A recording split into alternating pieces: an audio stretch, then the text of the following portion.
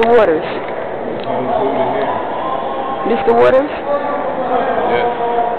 Uh, we like to ask, we'd like to ask you what's going on here today. Today is the 36th anniversary of the Pennsylvania Legislative Black Caucus. And we're hosting, it's not on? No, it's on. The light's not on. Well, it ain't gonna give you much. It is on. It's Yeah, on. oh, there, now. Today we are hosting the 36th anniversary of the Pennsylvania Legislative Black Caucus. And it's a program called Black History.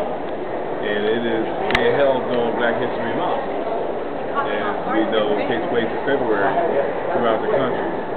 We're just so happy to host this event. And we're also recognize that so many of the previous people who led the Pennsylvania Legislative Black Caucus as chairs like Frank Oliver, Peter Truman, right now Thaddeus Kirkland. We had State Senator Leanna Washington and, and um, Harold James and Vincent Hughes. So many people who are still alive today who were part of our leadership over these 36 years. And of course, we can't help but to remember David P. Richardson, an outstanding legislator, statesman, and leader once of Pennsylvania Legislative Caucus and the National Caucus of State Legislators, so So again, this is what's taking place today. Proud to be a part of it as the vice chairman of the caucus. I look forward to being a member of this caucus for years to come, that we can continue to blaze the trail towards freedom, justice, and equality for all people, especially the, the people who have been deprived and left out far too many times of success story history too. We want to bring a change to that. Sounds good. so wait, can I ask one more question? What building are we in?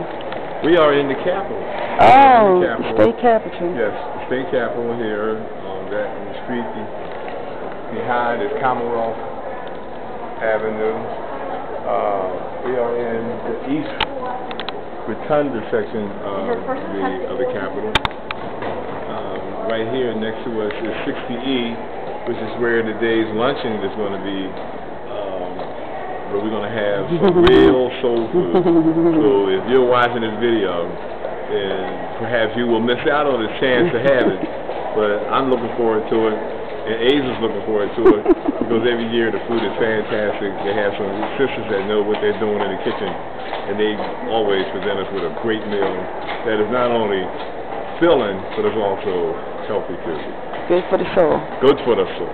Okay.